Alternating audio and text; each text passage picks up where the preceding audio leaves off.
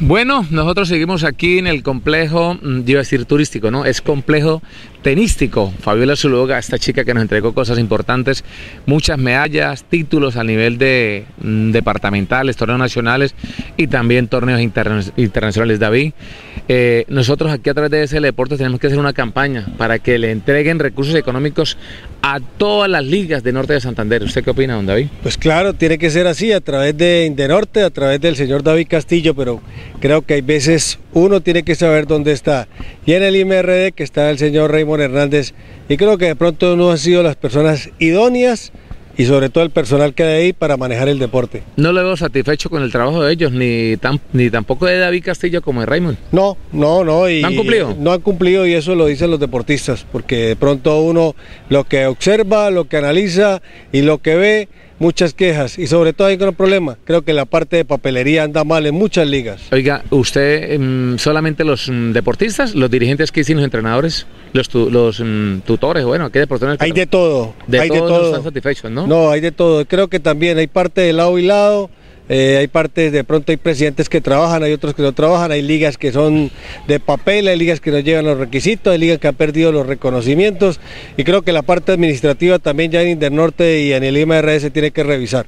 No volvieron mucha política y creo que esto va al traste con las aspiraciones de los deportistas y el deporte que es la prioridad. En la política le ha hecho mucho daño al deporte en la región, entonces, don? Parece. Eso es lo que estamos ¿no? viendo. Terrible. ¿Esto lo sabe el alcalde y el gobernador? Yo creo que debían de saberlo, ambos que sí deportistas, saben, ¿no? y ambos que les gusta, porque aquí pasaron los Juegos Nacionales que iban a ser eh, una ventaja para que quedaran eh, muchos complejos deportivos, escenarios deportivos, y ni sirvieron las piscinas, hasta ahorita las inauguraron. Bueno, a pensar. vamos a ver que se mejore este tema. Pues el alcalde de Cúcuta lo tengo ahí en contacto, ya está. Gracias, alcalde, por estar con nosotros. Yo que el Ah. alcalde prometieron que iban a traer el Cúcuta y nada de nada. Eh, se está trabajando en esa posibilidad ya que tocó el tema. Parece que el Cúcuta va a regresar a la ciudad de Cúcuta. Mm.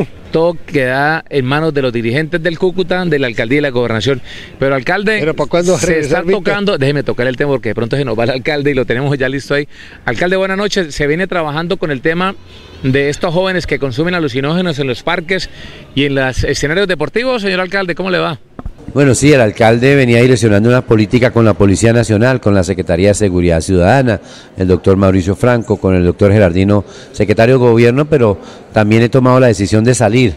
De pronto, por mis ocupaciones y todo, pues a veces no tengo el espacio suficiente para, para acompañar estos operativos, pero he dedicado que dos veces en la semana voy a salir, voy a acompañarlos, con eso la, la comunidad se puede acercar al alcalde a insinuarle algunas cosas, a reclamarle algunas acciones o algo, pero ahí tienen al alcalde en las calles de la ciudad en las noches, con la Policía Nacional, con el coronel Barrera, para poder decirle aquí estamos presentes y vamos a brindarle seguridad a todos los cucuteños, vamos a trabajar con estos jóvenes que están consumiendo alucinógenos para buscarles un programa. Aquí no es de reprimir solamente, sino de buscar acciones complementarias a con trabajos de psicólogos, trabajadores sociales, todos aquellos que nos podamos unir para poder brindarles una oportunidad a esta juventud que se nos está dañando y que muchas veces se ha dejado llevar totalmente el 100% al consumo de alucinógenos en nuestra ciudad.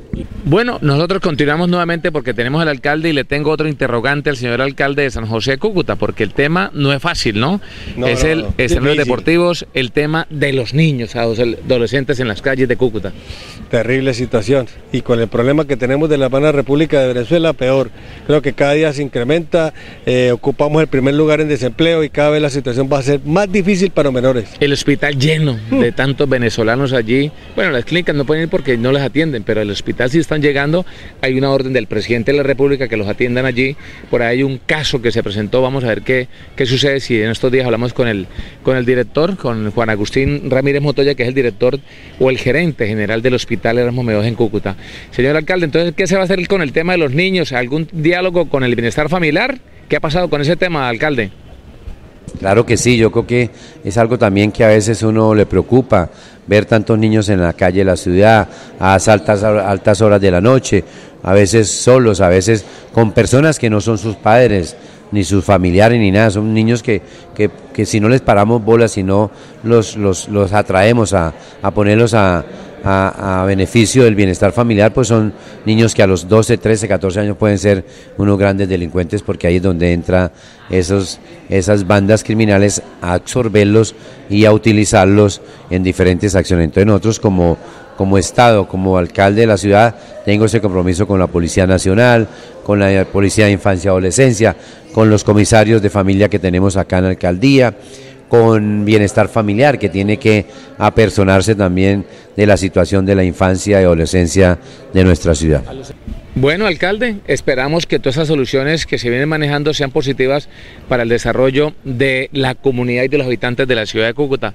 Para dejarlo descansar al alcalde, le tengo la última interrogante y aprovechando lo que, que está con nosotros aquí, don David, para preguntarle acerca de lo que hablamos hace rato, el tema de impuestos, el mm. tema del torneo intercomunas, cómo se marcha en este trabajo, alcalde, con el tema de los impuestos que se le maneja a las personas que no pudieron pagar en estos días tienen oportunidad de tomar del 1 de junio al 31 de octubre el pago del 40% del descuento sobre los intereses moratorios. Si teníamos el 60%, hoy pasamos al 40%. Esto es único en esta época porque eso fue una reforma tributaria que se trabajó en el Congreso de la República para todos los contribuyentes del país y de esa misma manera pues esperar darles esa oportunidad de que a, a partir del 1 de junio hasta el 31 de octubre tienen la oportunidad de pagar estos impuestos con, el, con la rebaja del 40%. Y por último, ya, el tema del torneo intercomunas. ¿Cómo es esta idea? Porque hay problemas que se presentan en los campos deportivos por la falta de cultura de algunos padres de familia, algunos deportistas. Alcalde, ¿cómo marcha el torneo? Claro que sí, a eso le apostamos. Yo creo que cuando tomé la idea de trabajar en este proyecto y le, impartí instrucciones al IMR, era eso lo que yo quería, que toda esta juventud de 16 a 22 años tenga la oportunidad de participar, de mostrarse, de salir de alguna de un ambiente que no puede ser propicio a ese ambiente de articulación, de conocerse con los demás eh, jóvenes de los diferentes barrios, tener esa rivalidad, pero una rivalidad deportiva. Esa es lo que estamos buscando. También algunos que tengan problemas, pues también ayudarles, a aquellos que no hayan podido estudiar, pues llevarlos a que terminen su bachillerato, a que entren a carreras técnicas. Y quienes están de pronto estudiando, que tengan dificultades en la universidad, pues está ahí el programa para ayudarles también a ellos. Y a eso es que le apostamos con la Policía Nacional, con la eh, Defensoría del Pueblo, con la Fiscalía, con la Policía Nacional que también se ha integrado allí. Y de esa manera podemos tener aquí unos 3.000 jóvenes que son un insumo importante para trabajar con ellos.